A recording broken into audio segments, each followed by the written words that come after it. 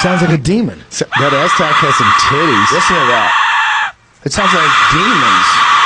Oh my god, Stop. Dude, that Freaking is scary as fuck, Dude, dude. if, now imagine a thousand half-naked warriors that are definitely going to kill you, and they're screaming that from the hillside. Hopefully they'll have titties like that guy.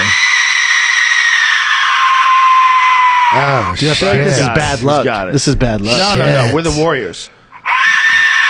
Okay, okay. You're gonna right. con- Sorry, man. you're gonna conjure a demon. This I is like know. You're also fucking- gonna blow out your asshole. I know. This is like one of those, uh, you know, uh, This is a bad idea. Evil Dead That was movies. scary, man. right, Jesus. dude.